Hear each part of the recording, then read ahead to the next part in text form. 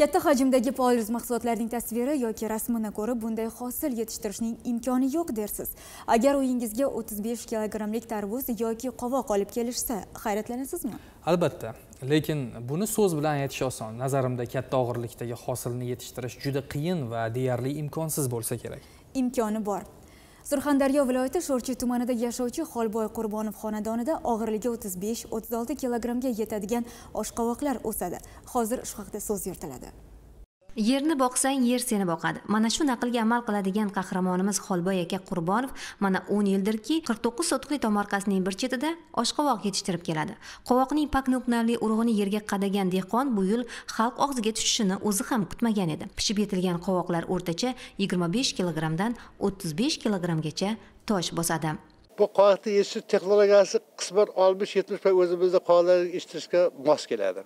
Ekiladigan joyimiz narsamiz lekin bunga yerni obdan tayyorlasangiz nafaqat bunga o'zimizning yetadigan qovoqmi qovun tarzmi yerga mehr berib ishlab beradigan bo'lsangiz hammasini eshitib beradi. Buni sotib bir daromad ko'rish maqsadida ekilgan emas edi. Qani qilayotgandi bir bir orzu niyat ekandiki darmodorga boy bo'lgan qovoqning paknuk navi dastlab aqshda yetishtirilgan. Qahramonimizning aytishicha o'n yillik tajribasida o'n yigirma kilogrammgacha tosh bosgan hosilni olishgan ammo o'ttiz besh kilogramm hajmda hosil olishni o'zi ham kutmagan edi va bu tajribali dehqon uchun ham yangilik bo'ldi.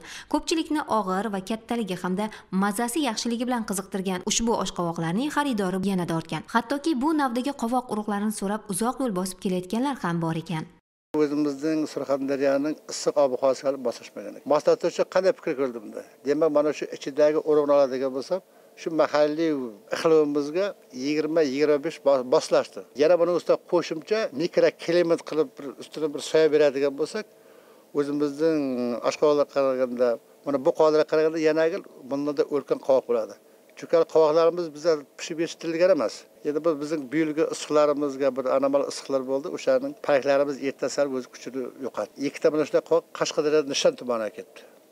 Mana shunaqa qovoqlardan bir ikki o'zini aka ukalarga berib albatta bu ulkan oshqovoqlar o'z o'zidan pishib yetilmagan. Mehnat va o'z vaqtidagi agrotexnik tadbirning hosilasi. Yana bir ibrat olsa arziydigan jihati oilada yoshu qari birdek mehnat bilan band. Bo'sh odamning o'zi yo'q hamma o'z vazifasini biladi. Holboy kelsa esa keyingi yilda yanada og'irroq tosh bosadigan serhosil qovoq navlarini yetishtirib oila byudjetiga yaxshigina daromad olib keladigan bu ishini ommalashtirmoqchi. Malohat mingliqulova aziz hayitqulov surxondaryo yoshlar.